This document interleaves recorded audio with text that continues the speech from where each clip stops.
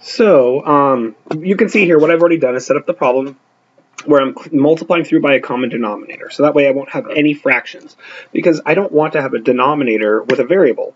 Um, so if since the denominator is x minus 8, I'm going to multiply both sides by x minus 8. And therefore, I have to do a little bit of distribution. But it should make my life a little easier because those divide, those divide. So now I have to distribute through. Um, and this is going to end up giving me uh, x squared plus 8x minus 128 equals 1.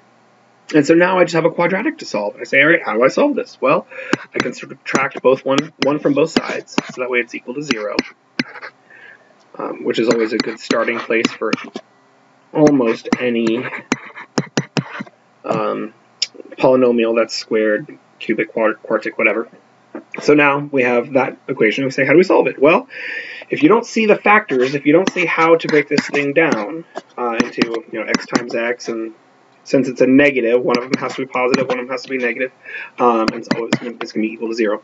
Um, if you don't see how to do that, then, which by the way I don't either, uh, then we're going to have to go quadratic formula which would just be x equals negative b plus or minus the square root of b squared minus 4ac, blah, blah, blah, all divided by 2a.